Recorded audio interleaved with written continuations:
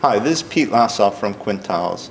Please join me at 3:30 in the afternoon on Tuesday when I'll be leading a session on using a hub and spoke model to drive cost effectiveness and efficiency in the global regulatory process.